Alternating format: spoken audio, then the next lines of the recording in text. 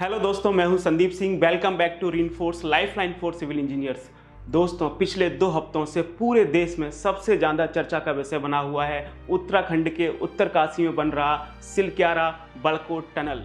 12 नवंबर को जब पूरा देश दीपावली की तैयारी में लगा था, उस समय हमारे देश के कुछ जीतन राम मांझी एक पहाड़ का गुरूर तोड़ने में लगे थे और ठीक उसी सुबह साढ़े पाँच बजे वो टनल कॉलेप्स कर जाती है और 41 से ज़्यादा मजदूर उसमें फंस जाते हैं। पूरे 17 दिन, करीबन 400 घंटे के बाद 28 नवंबर की शाम को उन सभी 41 मजदूरों को सुरक्षित बाहर निकाला जाता है।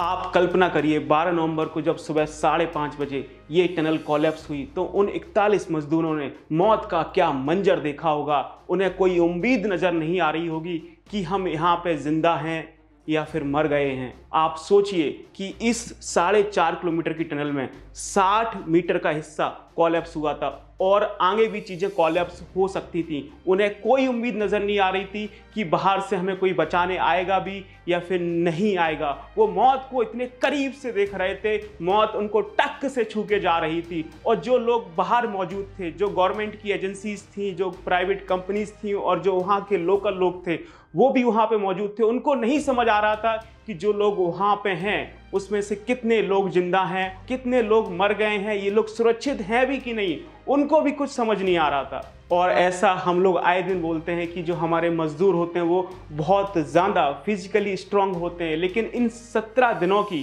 कसम कसमें 400 घंटों की ज़िंदगी में उन्होंने दिखाया कि वो मेंटली कितना स्ट्रांग होते हैं, क्योंकि वो पूरे 400 घंटे के बाद सुरक्षित बाहर निकल के आए हैं, मौत के चंगुल से बाहर निकल के। और ये सब हम जानते हैं कि ये इकतालीस मजदूर थे, इसलिए ये हमारे देश में इतना बड़ा चर्चा का विषय बना। अगर शायद दो तीन मजदूर होते तो शायद मीडिया में इतना ये चर्चा का विषय नहीं बनता। और इन सत्रह दिनों में हमारे पूरे देश ने एड़ी से चोटी तक का ज़ोर लगा दिया था। हमारी देश की पंद्रह से ज़्यादा गवर्नमेंट एजेंसीज, अथॉरिटीज़ और कुछ फॉरेन के टनल एक्सपर्ट के साथ हम लोग साढ़े छः सौ से ज़्यादा लोग इस प्रोजेक्ट के रेस्क्यू में काम कर रहे थे। और मेरी नज़र में तो मानो ये साढ़े छः सौ के साढ़े छः सौ लोग अपने आप में हीरो हैं, लेकिन मीडिया ने कुछ चंद लोगों को इस रेस्क्यू ऑपरेशन का हीरो बना दिया है, जो कि इंडिया का अभी तक का सबसे बड़ा रेस्क्यू ऑपरेशन में से एक है। और इस रेस्क्यू ऑपरेशन के जो सबसे बड़े हीरो हैं, वो हैं हमारे रैक माइनर्स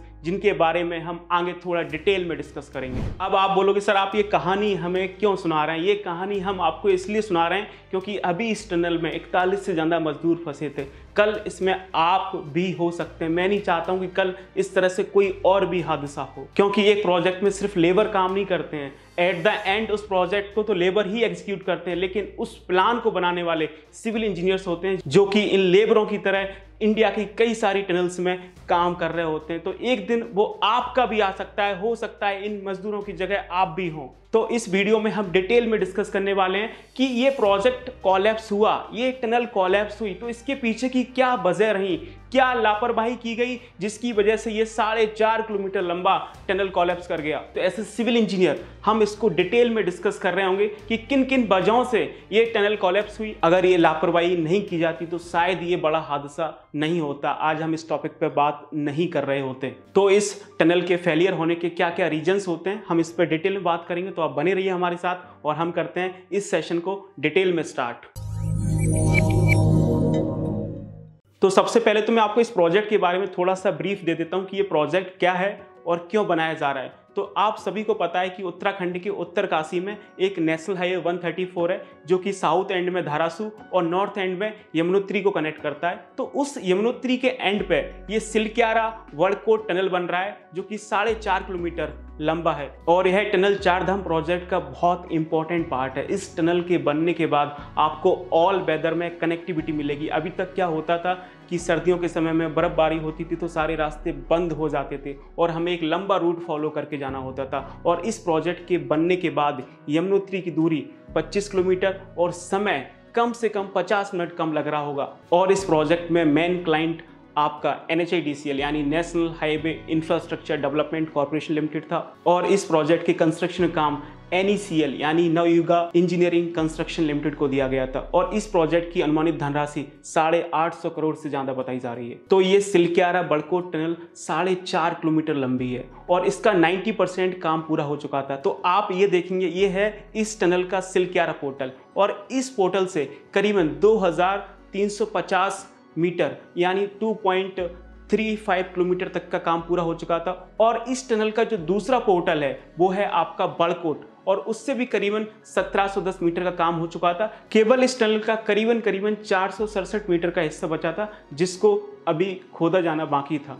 अपने पापी पेट के लिए ये इकतालीस मजदूर उस टनल में, उस समय काम कर रहे थे। तो 12 नवंबर को सुबह साढ़े पाँच बजे ये टनल कॉलेप्स कर जाती है। यानी 60 मीटर का हिस्सा नीचे धस जाता है। उसमें मलबा गिर जाता है ऊपर से और 41 से ज़्यादा मजदूर उसमें फंस जाते हैं। और जिस पोर्शन में ये मजदूर फंसे थे, वो करीबन आपका दो मीटर का पोर्शन था, जिसमें ये मजदूर फंसे हुए थे। क्योंकि दूसरे साइड से अभी चार सौ सड़सठ मीटर का काम होना बाकी था और इस साइड आपका 60 मीटर में ऊपर से मलबा गिर गया था। और इस घटना के बाद कई तरह की गवर्नमेंट अथॉरिटीज़, जैसे आपका एन है, आपका आईटीबीपी है, आपका एनडीआरएफ है, आपका एसडीआरएफ है, चाहे वो आपका उत्तराखंड पुलिस हो चाहे आर्मी के कॉप्स इंजीनियर्स हों, वो सभी लोग इसके रेस्क्यू ऑपरेशंस में लग गए। सबसे बड़ा मुद्दा तो यही था कि इसके अंदर कितने मजदूर हैं, उस समय नहीं पता था कितने मजदूर ज़िंदा हैं। कहीं ये मलबा मजदूरों के ऊपर ही तो नहीं गिर गया। और इस घटना के एक दो दिन के अंदर टनल के ऊपरी पोर्शन में दो तीन पाइप डाले जाते हैं, जिसमें एक पाइप के थ्रू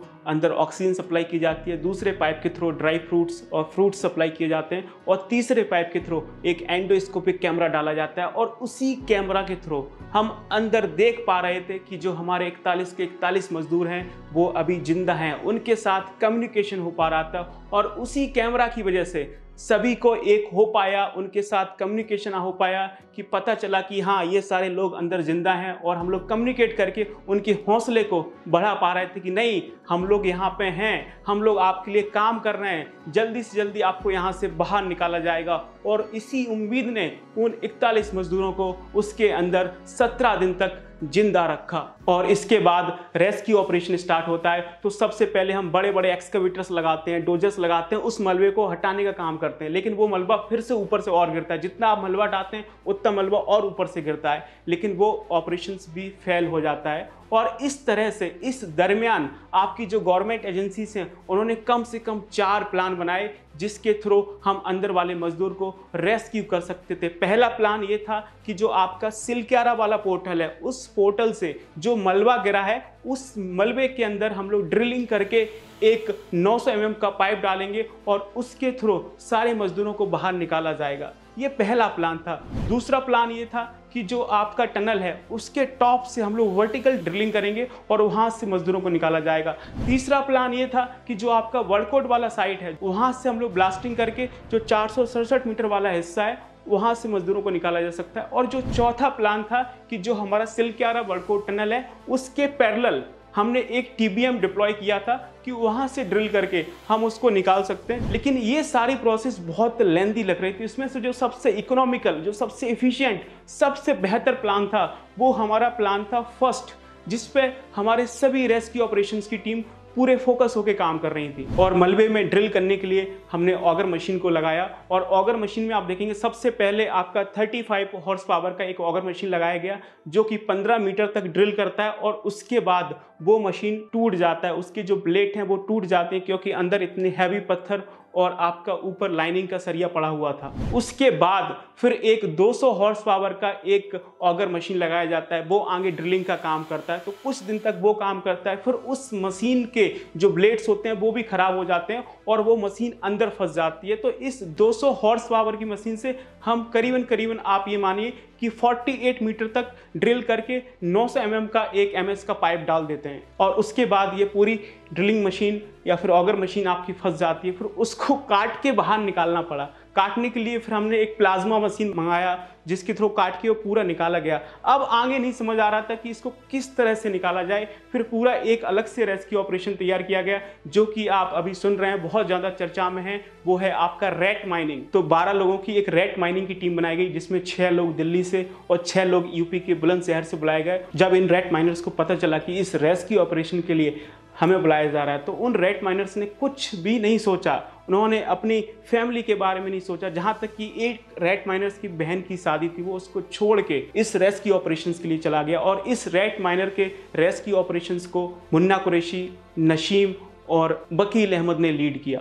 रेट माइनिंग क्या होती है? आपको नहीं पता है तो मैं बता दूँ रेट माइनिंग यानी चूहा। जैसे चूहा ज़मीन के अंदर बिल करता है, उसी तरह से छोटा सा स्पेस होता है, उस स्पेस के अंदर जाके आपको ड्रिलिंग करनी होती है। तो 900 सौ mm का पाइप था, उस पाइप के अंदर ये रेट माइनर्स गए। इसमें क्या होता है, मैं आपको समझाता हूँ। कि जो रेट माइनर ड्रिल में एक्सपर्ट होता है, वो क्या करता है कि आगे की हिस्से की ड्रिलिंग करता है और जो दूसरा वाला है, वो क्या करता है, मलबे को निकालता है। फिर एक रेट माइनर क्या करता है, आगे जगह बनाता है और दूसरा रेट माइनर उस मलबे को ट्रॉली में भरता है, जो उस 900 सौ mm पाइप के बाहर मजदूर खड़े हुए थे, वो उस ट्रॉली को पकड़ के खींच लेते हैं। और इस तरह से ये प्रोसेस आगे चलता है और बीच बीच में हैवी पत्थर्स आते हैं या फिर आपका सरिया आता है, जो कि टनल की लाइनिंग में यूज़ किया था, वो सभी सरिया आपका हेल्टी और ड्रिल मशीन से तोड़ के बाहर निकाल लिया जाता है। और इस प्रोसेस में करीबन दो दिन लगते हैं और इस दो दिन में जो 12 मीटर का पोर्शन बचा हुआ था 48 मीटर से लेकर 60 मीटर तक का तो ये 12 मीटर का मलबा निकाल के बाहर करते हैं और जो हमारा 900 एम का पाइप था, वो पूरा अंदर चला जाता है और उसके बाद उस 900 एम के पाइप को साफ़ किया जाता है और फिर एक एक करके हमारी एनडीआरएफ की टीम इस टनल के अंदर जाती है और वहाँ से एक एक करके सारे मजदूरों को अट्ठाईस नवंबर की शाम तक निकाल लिया जाता है और फिर उन सभी मजदूरों की प्राथमिक जाँच की जाती है और अगले दिन ही उसको हेलीकॉप्टर से एम्स ऋषिकेश में भेज दिया जाता है। उसके बाद उन्हें अपने घर भेज दिया जाएगा। इस पूरे रेस्क्यू ऑपरेशन में हमने कई सारे लोगों को हीरो बना दिया है, जो कि अपनी जगह ठीक है। लेकिन हमें इस हादसे के विलन के बारे में भी बात करनी चाहिए। हमें बात करनी चाहिए कि जो हमारे हिमालय जैसे यंग पहाड़ हैं, उसमें हम जहाँ देखो, तहाँ हम छेद करते जा रहे हैं और अपने इंफ्रास्ट्रक्चर को डेवलप करते जा रहे हैं। तो वो करना कितना सही है? और इसके साथ साथ जो कंस्ट्रक्शन कंपनियाँ इन टनल्स को बनाने के काम करती हैं, उनकी भी जाँच होनी चाहिए।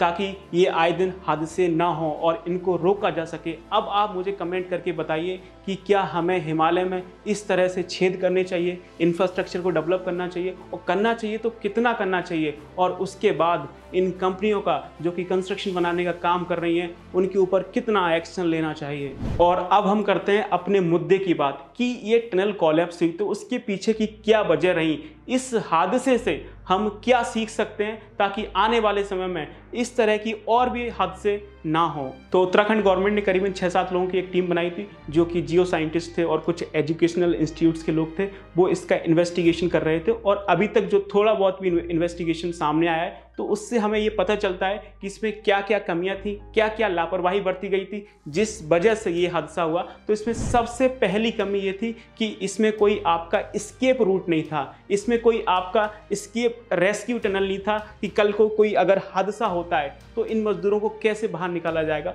नॉर्मली जो टनल्स बनती हैं तो उसमें हम लोग एक स्केप रूट बनाते हैं, एक रेस्क्यू टनल बनाते हैं ताकि हादसे के समय जो अंदर लोग काम कर रहे हैं, उनको बाहर निकाला जा सके। लेकिन इस वाली टनल में ऐसा नहीं था।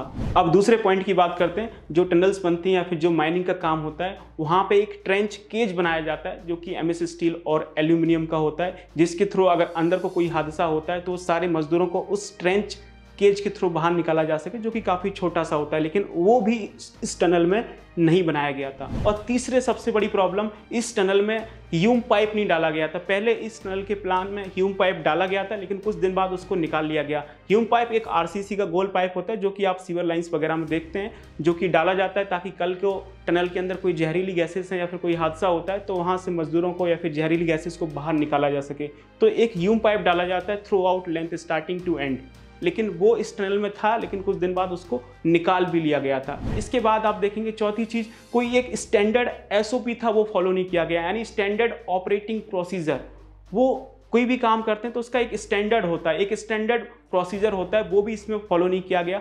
लास्ट बट नॉट लिस्ट इस टनल का कंस्ट्रक्शन स्टार्ट होने से पहले, जब इसकी सॉइल का एनालिसिस किया गया, पूरा जियो फ़िज़िकल मैप तैयार किया गया तो उस समय क्यों नहीं सावधानी बरती गई कि ये जगह बहुत संवेदनशील है? ये एरिया बहुत संवेदनशील है तो हमें यहाँ पे टनल बनानी चाहिए।